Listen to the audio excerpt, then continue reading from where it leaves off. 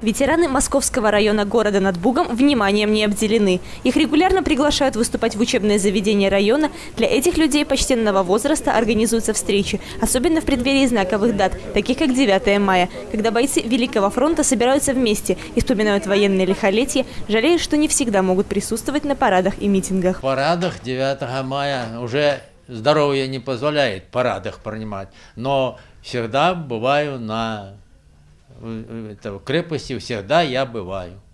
На автобусом мы, на, нас привозят. Там городской совет ветеранов организует автобус, ну и туда нас приглашают, чтобы уже, ехали туда. А идти это, от Советской улицы и до уже трудновато трохи. Я с ранеными была. Вот. Ну, раненых уже часть отправили э, за линию фронта, а часть, которая еще могла как-то двигаться, была со мной. И они только мне доктор, доктор, доктор, доктор. А я, а я повернулась, буду доктором. И они только доктором меня величали. А этому доктору 15 еще не было. В этом году в преддверии Дня Победы руководитель администрации Московского района Александр Рогачук совершил совместно с ветеранами экскурсию по новым объектам города над Бугом. Главными точками маршрута были новый поселок Стимово, куда в скором времени будет ходить троллейбус, территория у авторынка, где через несколько лет появится православная церковь, новые дома в микрорайоне Вулька. Такие поездки представители администрации Московского района будут организовывать и дальше в знак уважения к ветеранам, которые подарили современному поколению возможность возможность развиваться и строить на территории своего города новые успешные предприятия и тем самым формировать имидж успешности. Сегодняшняя наша вот поездка с ветеранами по нашему московскому району, по воинской части, имеет большое значение.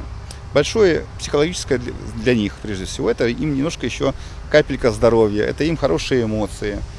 Э, большое значение для нас, потому что нам важно сохранить преемственность ведь фундамент, на котором мы стоим, делали они. Одним из пунктов предпраздничной поездки стало посещение 115-го зенитно-ракетного полка, где для ветеранов была проведена экскурсия и продемонстрировано современное вооружение белорусской армии. 115-й зенитно-ракетный полк – это подразделение, которое оберегает Беларусь на самых подступах. В задачи военнослужащих входит противовоздушная оборона войсковых соединений и частей во всех видах боевых действий. Ветераны смогли лично убедиться в том, что сегодня Синеокая находится под надежной защитой как бы такая хорошая, добрая традиция уже сложилась. Мы рассказываем ветеранам, что мы делаем для того, чтобы во всем мире был мир. Вот. Ветераны делятся какими-то своими впечатлениями, вот. видят, что мы не бездельничаем, видим, что мы находимся на своем месте. Ну и нам приятно, и им я думаю, тоже не менее приятно. В Бресте и в Московском районе, в частности, к ветеранам Великой Отечественной, всегда было и будет особенное отношение, потому что этим людям современники обязаны мирным небом над головой. Очень важно, чтобы после 9 мая эту работу нам продолжать.